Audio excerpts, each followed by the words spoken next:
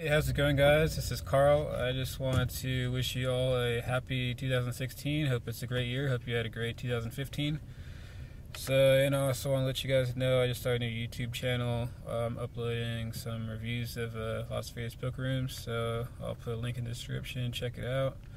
And I just wanted to, uh, you know, help you out as far as like goal setting for 2016. Just a couple, couple more tips and uh, the first one is you want to be very clear and specific about what you want to achieve. And there's like two types of goals there's outcome goals and there's process goals. So, outcome, that's like what you want to end up with, you know, what's, what's the, the, the end.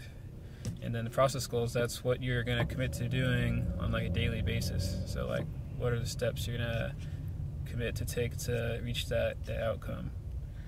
So, yeah, just. Uh, you really want to be like the more specific, the better as far as your goals, and you want to have uh, time bound limits. So you want to say how much by when, so it's measurable, so you can check in, see how see how far along you are towards achieving your goal. So and yes, have you know specific specific measurements so that you can measure your progress and yeah, I mean, like the more clear you are, the more likely you are to um, achieve your goal. Like if you just have kind of a, you know, a goal that's not very clear, you know, it's very, it's probably not likely to happen. But the more precise, the more you can break down each step, each action you need to take to get there, the more likely you are to succeed.